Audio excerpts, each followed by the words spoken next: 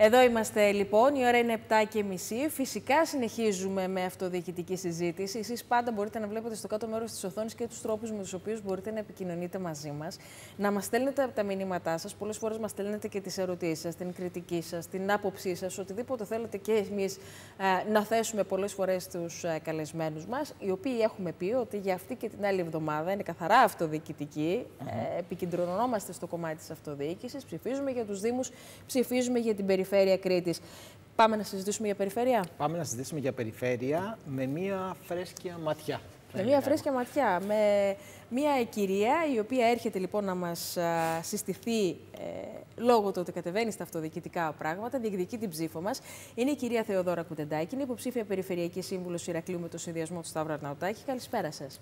Καλησπέρα σας, καλησπέρα στους τηλεθεατές σας. Σας ευχαριστούμε που είστε εδώ, κυρία Κουτεντάκη. Και ξέρετε, θα συνεχίσουμε και με εσάς αυτή την κλεισέ ερώτηση που πολλές φορές κάνουμε κυρίως στους νέους ανθρώπους, γιατί μας αρέσει να καταγράφουμε τη δικιά τους άποψη, γιατί μπαίνετε μπροστά, γιατί διεκδικείτε την ψήφο ε, των κριτικών σε αυτές τις αυτοδιοικητικές εκλογές. Πολλές φορές ακούγεται απλό το ερώτημα, αλλά η απάντηση πάντα έχει τη δικιά της σημασία. Έχετε δίκιο και η απάντηση ε, σε αυτή την ερώτηση κάθε άλλο παρά κλισέ είναι. Για εμένα η απάντηση είναι βαθιά προσωπική και απηχεί το βαθύ πιστεύω μου ότι μόνο με ενεργή συμμετοχή στα κοινά μπορούμε να κάνουμε τον τόπο μας καλύτερο. Η πορεία μου μέχρι σήμερα με έχει διδάξει ότι μόνο μέσα από συνεχή προσπάθεια μπορούμε να προοδεύουμε για τους εαυτούς μας και για τις κοινωνίες μας. Οπότε ήταν μια πολύ φυσική απόφαση. Θεωρώ ότι ειδικά οι νέοι άνθρωποι πρέπει να βγαίνουν μπροστά, πρέπει να συμμετέχουν στα κοινά, γιατί αυτό είναι σημαντικό πρώτον για την εκπροσώπηση μια σημαντικής μερίδας της κοινωνίας μας, των νέων ανθρώπων. Δεύτερον, για την ανανέωση των θεσμών και των διαδικασιών και εν τέλει της ίδιας της δημοκρατίας. Και τρίτον, γιατί οι νέοι άνθρωποι έχουν δύο πλεονεκτήματα σε σχέση ε, με όλο τον πληθυσμό. Πρώτον, έχουν μία δημιουργική ορμή, μία όρεξη να φτιάξουν τα πράγματα. Και δεύτερον, έχουν μία τεχνογνωσία αυτή της νέας εποχής ανοιχτή στους δημιουργούς. Έχουν μείνει πίσω η νέοι κυρία Κουτεντάκη μέχρι σήμερα, γιατί ξέρετε η συζήτηση για τη συμμετοχή των νέων είναι πάντα ε, επίκαιρη σε κάθε εκλογική διαδικασία, ε, των νέων ηλικιακά, αλλά και των νέων ε, σε ό,τι έχει να κάνει και με το κομμάτι της οπτικής ε, ναι. στα πράγματα. Μέχρι τώρα έχουν μείνει λίγο πίσω, έχουν μείνει στη δεύτερη γραμμή, αντί να βρίσκονται στην πρώτη. Μου άρεσε πάρα πολύ η διάκριση που κάνατε και θα ήθελα να πω δύο λόγια. Νέο σε ηλικία και νέο σε οπτική. Mm. Μπορεί ένας άνθρωπος να είναι πιο προχωρημένης ηλικία, αλλά να έχει τόσο φρέσκες ιδέες, mm τόσο ανοιχτό μυαλό, που εγώ με αυτόν τον άνθρωπο συντάσσομαι. Και δυστυχώς μπορεί να υπάρχει κόσμος νεαρό σε ηλικία, αλλά με κλειστά μυαλά. Το αντίστροφο. Οπότε θέλω να τονίσω ότι με τους πρώτους ανθρώπους θα ταυτιζόμουν και θεωρώ ότι και αυτοί θα ταυτιστούν μαζί μου. Ανθρώπους που θέλουν να δουν τα πράγματα να γίνονται αλλιώς, με έναν τρόπο βέλτιστο. Να βελτιώσουμε τα πράγματα που μπορούν να βελτιωθούν. Στο ερώτημά σας τώρα, αν οι νέοι έχουν μείνει πίσω, για διάφορους λόγους. Ίσως έχει να κάνει με το ίδιο το πολιτικό σύστημα, ίσως έχει να κάνει με την κοινωνία, ίσως με επιλογή των νέων που έχουν νωρίς απογοητευτεί από τα πράγματα ε, και επιλέγουν να απέχουν από τα κοινά.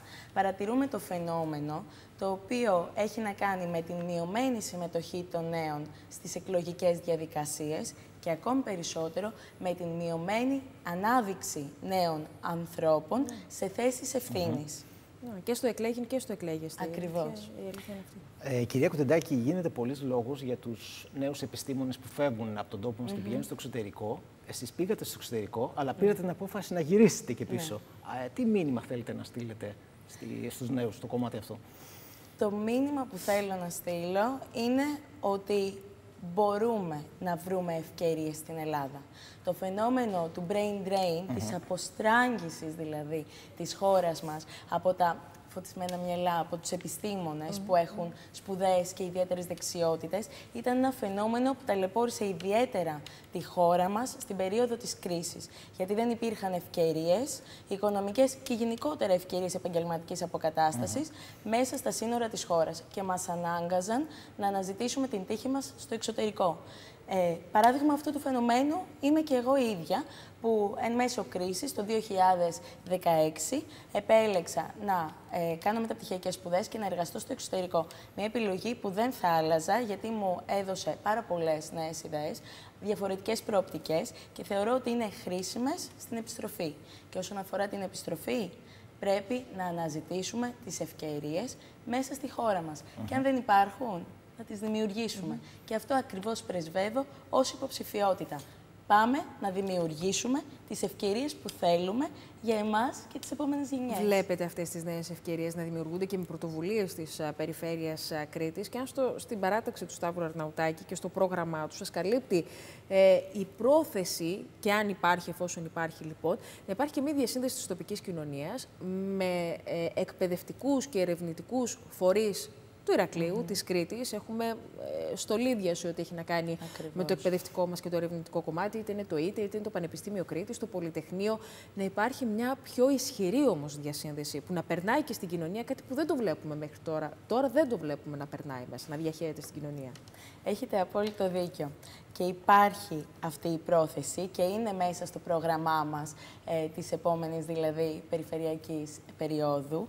Μιλάμε για τον κόμβο κοινοτομίας, ε, τον οποίο οραματιζόμαστε και θέλουμε να σχεδιάσουμε ε, μέσω της περιφέρειας, ε, ο οποίος κόμβος καινοτομία θα περιλαμβάνει ακριβώς τη διασύνδεση μεταξύ πανεπιστημιακών και ερευνητικών ιδρυμάτων με τις επιχειρήσεις και την παραγωγή, αλλά και τον απλό πολίτη.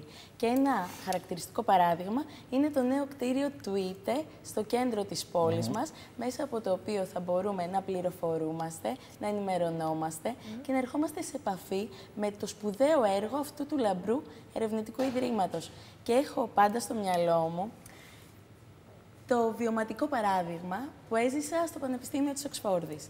Εκεί έζησα δύο χρόνια, έκανα δύο μεταπτυχιακά και η Οξφόρδη είναι μια πολύ πρότυπο σε αυτό το κομμάτι, γιατί το φημισμένο πανεπιστήμιο εξαπλώνεται σε όλη την πόλη και όλοι οι πολίτες ζουν στους ρυθμούς του πανεπιστημίου με συνεχείς πολιτιστικές εκδηλώσεις, ε, ημερίδες και ο πολιτισμός, αν θέλετε, είναι κομμάτι της καθημερινότητας των ανθρώπων. Και μία τελευταία λέξη. Προβάλλουμε τον πολιτισμό μας ως κέντρο πολιτισμού ήδη από τα μηνοϊκά χρόνια εδώ στην Κρήτη. Αλλά πρέπει να τονώσουμε και το σύγχρονο πολιτισμό. Και έχουμε την ευκαιρία να το κάνουμε μέσα από αυτές τις πρωτοβουλίες διασύνδεσης με τα πανεπιστημιακά και ερευνητικά ιδρύματα. Εσείς στο εξωτερικό, από ό,τι βλέπω εδώ, είχατε μια τεράστια εργασιακή εμπειρία παρά τα λίγα σας χρόνια σε Διεθνή Επενδυτικό Κολοσσό και στην Ευρωπαϊκή Κεντρική Τράπεζα. Άρα, ενώ είστε νέα, μπορείτε να φέρετε ένα πολύ σημαντικό κομμάτι τεχνογνωσίας ε, στην περιφέρεια Κρήτης και ιδίως όταν όλοι αναγνωρίζουμε το πόσο σημαντικό είναι να υπάρχουν αυτές οι στενές σχέσεις με τις Βρυξέλλες, με την Ευρωπαϊκή Ένωση και στο κομμάτι της άντληση χρηματοδοτήσεων και της άντληση τεχνογνωσίας. Σας ευχαριστώ πάρα πολύ για αυτή την ερώτηση. Ε, θεωρώ ακριβώς ότι ε, έχω μια εξειδίκευση σε αυτό το κομμάτι. Είμαι ίσως η μόνη υποψηφιότητα που έχει εμπειρία από τα ευρωπαϊκά όργανα και αυτή την εμπειρία και την τεχνογνωσία θέλω να φέρω την επόμενη μέρα στο Περιφερειακό Συμβούλιο ως Περιφερειακή Αρχή έχουμε μία παράδοση καλής mm αξιοποίησης των ευρωπαϊκών πόρων. Εγώ θέλω το καλό να το κάνουμε καλύτερο. Να το κάνουμε το καλύτερο, ώστε η Κρήτη να γίνει και αυτός είναι ο προσωπικός μου στόχος, η πρώτη περιφέρεια στην Ευρωπαϊκή Ένωση στην απορρόφηση των ευρωπαϊκών πόρων. Γιατί αυτοί ακριβώς οι πόροι θα γίνουν οι υποδομές του αύριο, οι δράσεις της επόμενης μέρας και η Κρήτη με ορίζοντα το 2030. Άρα, μιλάμε για μια διασύνδεση της περιφέρειας Κρήτης απευθείας με Βρυξέλλες, εκεί που βρίσκεται η καρδιά της Ευρώπης και όχι μέσω του κεντρικού κράτους. Γιατί ξέρετε, πολλές φορές μιλάμε και για εκείνες γραφειοκρατικές αγκυλώσει. Ναι. Μιλάμε για όλα τα προβλήματα τα οποία μπορεί να δημιουργήσει και η κεντρική πολιτεία όταν περνάνε θέματα μέσα, μέσα από αυτήν. Mm. Μιλάμε για μια διασύνδεση λοιπόν αμέσως περιφέρεια με την καρδιά της Ευρωπαϊκής Ένωσης. Ακριβώς. Ε, δύο πράγματα θα ήθελα να πω. Το πρώτο είναι στην Ευρωπαϊκή Κεντρική Τράπεζα η θέση μου ήταν στην εποπτεία των συστημικών τραπεζών, ε, στη διαχείριση κρίσεων. Δηλαδή, κάναμε στρογγυλές τράπεζες όπου έρχονταν εκπρόσωποι από κάθε κεντρική τράπεζα, την Κεντρική Τράπεζα της Ελλάδας, της Κύπρου, mm. της Εστονίας, ε, της Γαλλίας ε, και συντονίζαμε ακριβώς τις δράσεις μας. Μέσω αυτής της τεχνογνωσίας, εγώ οραματίζομαι αντίστοιχα μία ανοιχτή γραμμή μεταξύ περιφέρειας Κρήτης και Βρυξελών, προκειμένου, όπως είπατε, να υπερβούμε κάποιες γραφειοκρατικές αγκυλώσεις. Και το δεύτερο πράγμα που ήθελα να πω είναι ακριβώς αυτό, η γραφειοκρατία, η οποία αποτελεί την μεγαλύτερη παθογένεια του ελληνικού κράτους. Και θεωρώ ότι σήμερα, εν έτη 2023, με τις ευκαιρίες που μας δίνει η τεχνολογική εξέλιξη, τα ανοιχτά δεδομένα, η τεχνητή νοημοσύνη, μπορούμε πια να δημιουργήσουμε ψηφιακές υποδομές προκειμένου να τερματίσουμε μία για πάντα αυτή τη γραφειοκρατία. Και ξέρετε, καμιά φορά, συγγνώμη Μπάμπη, είναι και αυτό μια κριτική που ασκούν και οι πολίτες, ε, γιατί ακούν από την εκάστοτε διοίκηση, είτε είναι τοπική, είτε είναι αυτοδιοίκηση, είτε είναι του κεντρικού κράτους, να ε, αναφέρεται στην γραφειοκρατία, σε κάτι το οποίο έχει κολλήσει, σε ένα ζήτημα το οποίο έχει κολλήσει και να ρωτιέται ο κόσμος με όλα αυτά τα άλματα που έχουν γίνει, ψηφιακά και μη, mm -hmm. όλες αυτές τις διαφοροποιήσεις τις οποίες έχουμε κάνει, πώς γίνεται να επικαλούνται πάντα τη γραφειοκρατία, μήπως τελικά είναι και ένα άλοθη ε, από τα άτομα τα οποία διοικούν. Μήπως λοιπόν η γραφειοκρατία δεν είναι καμιά φορά το πραγματικό πρόβλημα, αλλά την επικαλούμαστε; Ισχύουν και τα δύο που λέτε. Ε, επειδή είμαι δικηγόρος, δύο χρόνια τώρα που έχω επιστρέψει στην Ελλάδα, έχω έρθει αντιμέτωπη με τη γραφειοκρατία ή ό,τι βρίσκεται πίσω από αυτή την επίφαση πολλές φορές. Εκεί που έχω καταλήξει είναι ότι πραγματικά υπάρχουν αγκυλώσεις. Ε, πραγματικά το νομικό πλαίσιο σε πολλές περιπτώσεις δεν είναι ξεκάθαρο, οπότε οι υπάλληλοι αναγκάζονται να συμβουλευτούν και η απάντηση να καθυστερήσει να έρθει. Υπάρχουν και άλλα προβλήματα. Υπάρχουν ελλείψεις σε προσωπικό σε πάρα πολλές θέσεις, ναι. οι οποίες ναι. καθυστερούν περαιτέρω τη διαδικασία. Και υπάρχει, αν θέλετε, και μία καθυστέρηση στην ψηφιοποίηση πραγμάτων που θα μπορούσαν να έχουν ψηφιοποιηθεί. Έχω, για παράδειγμα, στο μυαλό μου ε, την Περιφερειακή Διεύθυνση του ΕΟΤ εδώ στην Κρήτη, που έχει ε, όλα τα αρχεία από άδειες ξενοδοχείων σε φυσική μορφή, καταλαμβάνουν έναν αποθηκευτικό χώρο στην καρδιά της πόλης μας, ο οποίος εάν ήταν άδειος ή αν βρισκόταν σε ένα υπόγειο, θα μπορούσε να αξιοποιηθεί ε, επιχειρηματικά και να αποφέρει μεγάλα έσοδα για τον ΕΟΤ. Και αυτό είναι ένα παράδειγμα απλά από τα πολλά που υπάρχουν.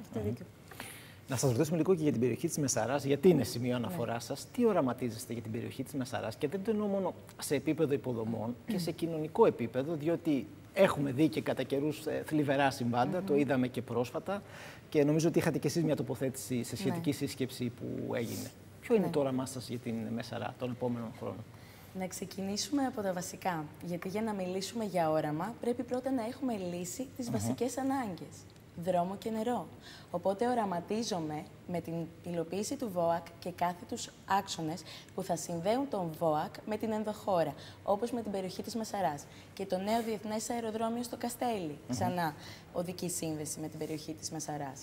Οραματίζομαι νερό για τους κατοίκους, νερό ίδρυυσης και νερό άρδευσης, αρδευτικά δίκτυα, mm υλοποίηση και ολοκλήρωση των μεγάλων έργων, το φράγμα του πλατή και την εκτροπή του πλατή, το φράγμα της πλακιώτησα, ιδιαίτερο τόπο καταγωγής της γιαγιάς μου, που θυμάμαι από τα παιδικά μου χρόνια ότι είναι έτοιμο και ακόμα δεν και έχει ακόμα. ετοιμαστεί. Ιδού βεβαίως πεδίο δόξη λαμπρών και για την περιφέρεια. Ακριβώς. Όλα αυτά είναι πράγματα που έχω στο μυαλό μου. Και αφού λύσουμε τις βασικές ανάγκες και παράλληλα με αυτές, θα πάμε και στο όραμα. Και οραματίζομαι έναν αναπτυξιακό κόμβο Μεσαράς, ο οποίος θα αξιοποιεί όλο τον φυσικό και ανθρωπογενή πλούτο αυτής της περιοχής, με ανάδειξη του πολιτιστικού στοιχείου, όπου θα περιλαμβάνεται το νέο αρχαιολογικό μουσείο της Μεσαράς, ένα στολίδι, το οποίο υλοποιήθηκε και με πρωτοβουλία της προηγούμενης Περιφερειακής Αρχής σε συνεργασία με το αρμόδιο Υπουργείο, με την Γεωργική Σχολή Μεσαράς, η οποία πρέπει να επαναλειτουργήσει και να αποτελέσει ορόσημο για την ανάπτυξη της νέας γενιάς αγροτών και με συμμετοχή όλων σε όλη αυτή την αναπτυξιακή τροχιά. Και περνάω τώρα στο κοινωνικό ε, πρόσημο για το οποίο με ρωτήσατε όλη αυτή η ανάπτυξη θεωρώ ότι θα διαχυθεί και θα δώσει ευκαιρίες, ειδικά στους νέους της περιοχής, να βρουν διεξόδους διαφορετικές από αυτές που τους οδηγούν σε θλιβερά φαινόμενα, όπως αυτά που είδαμε πολύ πρόσφατα. Συμμετείχα λοιπόν στη σύσκεψη για την καταπολέμηση της βίας στο Δήμο Μεσαράς, όπου εξέφρασα την άποψη ότι τη βία πρέπει να την αξιολογούμε ως κοινωνικό φαινόμενο και όχι μεμονωμένα. Και μάλιστα ότι θύματα της βίας είναι τόσο οι θύ- τα θύματα ενός περιστατικού βίας, όσο και οι θύτες των περιστατικών βίας. Γιατί μεγαλώνουν σε ένα περιβάλλον που τους οδηγεί μοιραία να πιάσουν όπλο στα χέρια τους και κάποιες φορές να πατήσουν και τη σκανδάλη. Είναι και κοινωνική συνθήκη πολλές φορές. Ναι, και οι βαθύτερες προεκτάσεις τι οποίες αναφέρει. Κύριε Κουτεντάκη, θέλουμε να σας ευχαριστήσουμε θερμά που ήσασταν α, μαζί μας. Να σας ευχηθούμε φυσικά καλή δύναμη, καλή συνέχεια στον αγώνα σας και καλή επιτυχία. Σας ευχαριστώ Καλή πραγματικά δύναμη. για τη φιλοξενία. Απόλαυσα τη συζήτησή μας Και εμείς. εύχομαι να τα ξαναπούμε. Και εμείς. Καλή Ευχαριστούμε δύναμη. πολύ. Να είστε καλή καλά. επιτυχία.